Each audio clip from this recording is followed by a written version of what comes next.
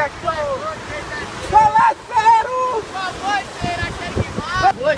Meu filho, tá virado no giraia. Qual foi agora? A neguna! A cara trança. Sim, mas agora faltou, elas não morrem mais. minha cá, fia. É o que, fia? Você lá com seu som de 10 às 5 comprou sua grade de cerveja. Meu, minha e meu um estouro. Não, meu filho, eu mesmo não. Eu pesquisei na internet que meu som alto não consome muita energia. Oh, meu Deus do céu, você estuda. Olha, filha, eu fui na a semana passada. Você sabe quanto mais alto, mais você gasta energia? Posso te dizer uma coisa?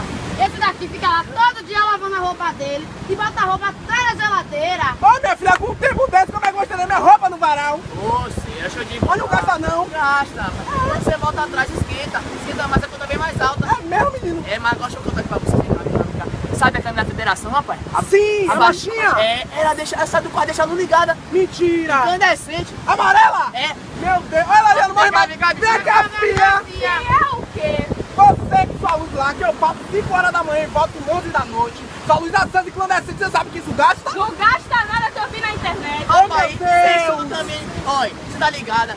E a incandescente gasta mais. E é, olha, é mais barata, mas quando você pega a LED, é mais cara e gasta menos. Você tá vendo? Isso, Eu não fui na Existe, existe. Eu fui na Coelba. Ah, meu filho, leva ali que não tá vindo. Vai lá, você. Um beijo. Tchau, tchau, menina. Tchau, já tá indo. Nós da equipe azul mostramos algumas verdades e mitos que as pessoas normalmente fazem no dia a dia e não sabem.